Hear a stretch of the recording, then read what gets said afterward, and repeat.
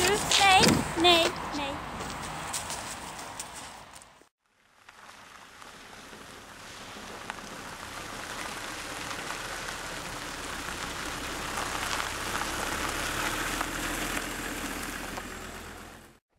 Durf te zeggen.